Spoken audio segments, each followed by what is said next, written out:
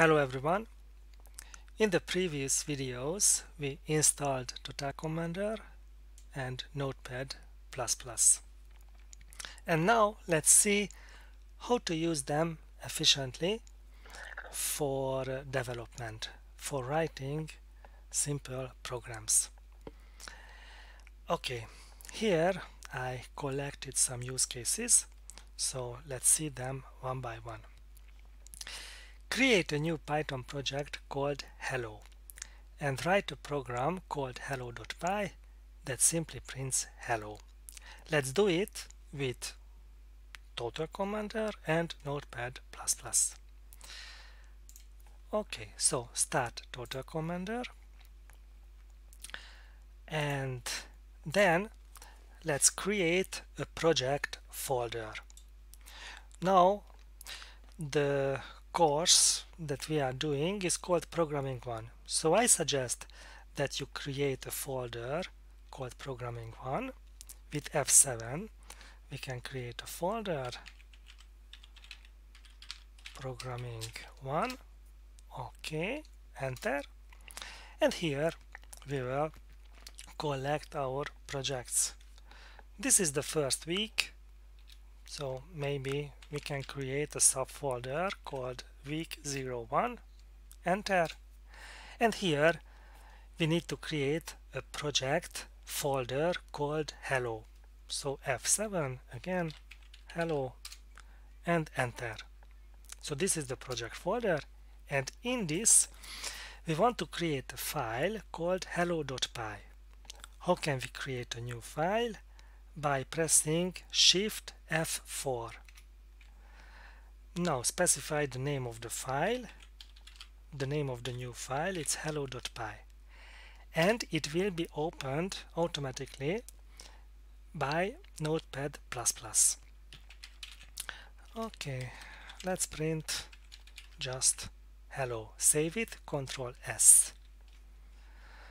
And then now we can close it the file is there. There is a file called hello.py.bak it's a backup file. But if I refresh the panel I think it will disappear. So press ctrl R.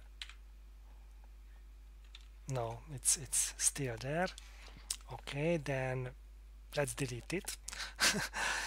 Notepad++ left it there. Move the selector on it F8 yes delete it. Okay. Now let's verify that uh, its content is correct. Move the selector on it press F3 yes it's print hello. Good. Let's close it. And now let's execute the program in the command line. So in this folder we want to open uh, a terminal but if you open the terminal here then you can see that we are in this folder. We are not in the project folder. So one way is that you navigate to the project folder by using the command cd cd programming one okay we are dir. Then cd week 01 with there we can check the content. Uh, the subfolder is called hello. Okay we are there. Hello.py is there. With cls you can clear the screen. Hello.py is there. Type hello.py just type the name of this Python program, press enter, and it will be executed, and hello is printed on the screen.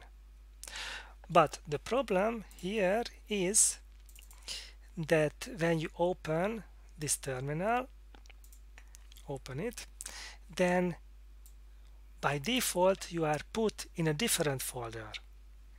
So I suggest the following. Open cmd from Total Commander. And if you type cmd enter, then the good thing is that uh, you will be put in the same folder. As you can see we are in this folder where we executed the command cmd you do not need to use the command cd change directory. You are immediately there and then you can execute this program. Done. If I move to the right side and enter for instance utils and no let's enter work. And if I execute cmd here then I am put in this folder work. So that's a big advantage of uh, using Total Commander. Fine. Okay I move back to the root folder of the C drive. Okay we could execute it. Now let's see another example. Find and open the previous project and modify the program so that it prints hello world. Okay first we need to navigate to the project folder. We know that it is in programming 1 in week 01 and in hello. By pressing enter we can enter in a folder. Okay we are in the project folder. Move the selector on the file press F4 for editing and modify it to print hello world. Save it. We can close it for now. Uh, the bug file is created there the backup file. Okay let's delete it. I think uh, in Notepad++ somewhere we can specify where to store these backup files. Uh, I will look after it. Okay and now we want to execute it. We want to see hello world on the screen. So here start cmd we start it from total commander because it will put us in the project folder. Hello.py is there. Let's execute it. Oh and you do not need to type the complete name of the file. You can just it's enough to type just the beginning of the name of the file and then you can press tab. And then it will complete it for you enter. Okay ex executed. You can see the output. Excellent. We can close it. Okay now create a new project called word and copy the previous hello.py here and then rename it to word.py so let's create a new project called word I move back to the root folder. Then enter programming 1 enter week 01 hello is a project and here by pressing F7 I create a new folder called word. It will be another project. Enter. Okay now from uh, from the folder hello I want to copy hello.py here. So we need a copy operation. On the right side I want to see the same folder that I see on the left side. So I'm on the left side press alt F2 and choose C. Then I get to the same folder. I go back to the parent and enter hello and this is the file that I want to copy from here to the left side to this folder word. Ok. The selector is there. Press F5 and enter. Now it is copied there. And now I want to rename it. Press F6 I show you two different ways. The first is press F press F6 and type in the new name word.py okay it is renamed this is one way now I delete it and I copy it again and I show you another way how to rename a file. I forgot to mention it in the previous video. Click on it. Yeah, so click on it and uh, it will this, this will appear. So this is an edit mode. And here you can rename it. Mm. so you need to be careful how to click. It doesn't always uh, it's not always successful. Uh, okay it wasn't successful. Click again. And now it is opened in in this edit mode. And then you can type word.py well if it doesn't work then F6 use F6 that that always works. Fine. Now on the left side I'm in the folder word. On the right side I'm still in hello. So on the right side I also want to see the same folder word. How can I do that alt F2 C and now it's the same folder. Okay rename it to word.py and edit it so that it prints word. Okay F4 let's edit it print just word. Save it control S. Close it. The backup we delete the backup file. Good launch cmd the terminal. The file is called word.py type in its name enter and it's executed. Fine. We can close it. Okay. Find the project word and execute it in the command line. Okay it's similar to a previous exercise. So let's find it it it's in programming 1 week 01 word enter. Okay start cmd start typing in its name. Press tab it will be completed. Enter. And it's nicely executed. Good. And now I want to show you how to use Notepad++ and CMD, CMD efficiently. So you have a project, you want to edit it, and you want to execute it immediately.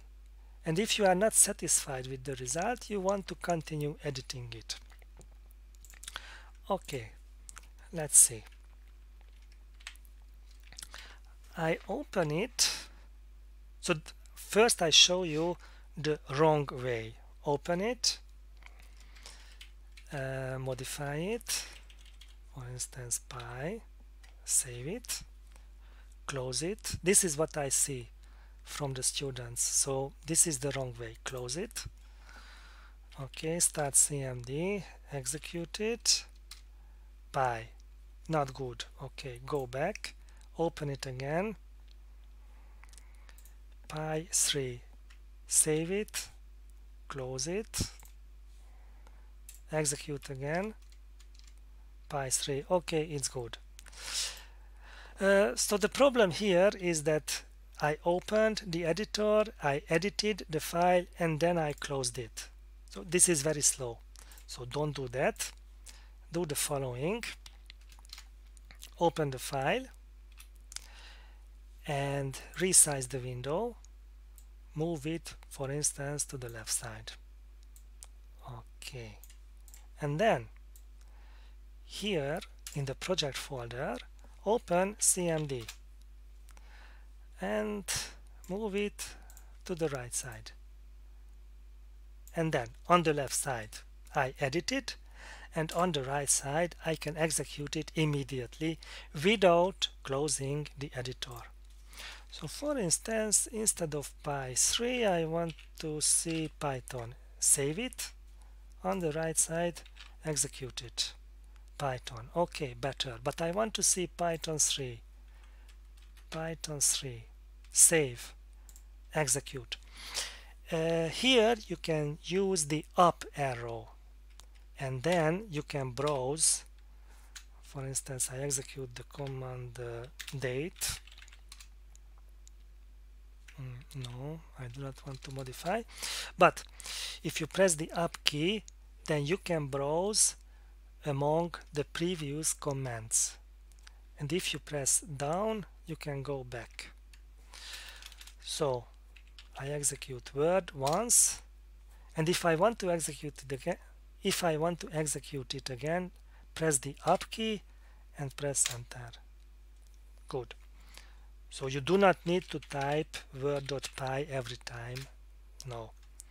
You can also use the tab but the shortest way is to use the up key and then you can re-execute the previous command. Okay I want to see P in capital code I saved it execute it perfect. This is what I wanted so this workflow is much better and much faster than opening and closing the editor all the time.